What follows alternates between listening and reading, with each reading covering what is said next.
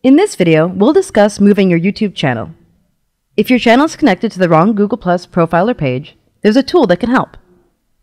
Most YouTube channels are connected to either a Google Plus page or a Google Plus profile. For example, I have a YouTube channel for my travel blog, and it's connected to my Google Plus profile, which has my real name and not my blog's name. I would like to connect my travel channel to my business's Google Plus page. Once I transfer my channel, I can even create a new channel on my profile for personal videos to share with family and friends. First thing, make sure you're currently logged into the channel you wish to transfer. Go to YouTube Settings, then click Advanced. Here you'll see Move Channel to a different Google Plus profile or page. If this option is grayed out, you are not the owner of the channel you're currently logged into. Only the owner of the channel can transfer the channel. Next, you'll be prompted to enter your password for security purposes.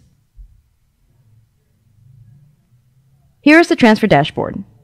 On the left, you'll see the channel you're currently signed into and info about the channel.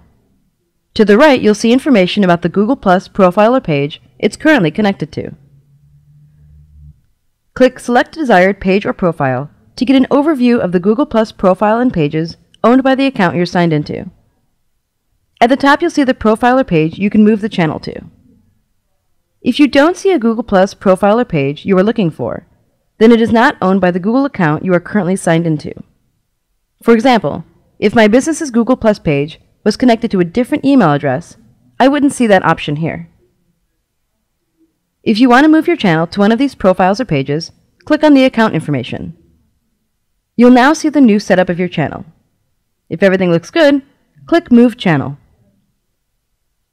Double check the information that will be changing, like your name and avatar, and if everything is right, click Move Channel again. This account is all set up, and my channel is now connected to my Google Plus page. Now let's go back a few steps. What about those accounts at the bottom of the list? These already have a YouTube channel connected to them. There can only be one YouTube channel on each Google Plus profile or page. You will have to delete the channel on your desired target profile or page or first move that channel to an empty profiler page. If you want to delete that other channel, just click on the option, then click Delete Channel. Remember, this action is irreversible and that channel will be permanently deleted.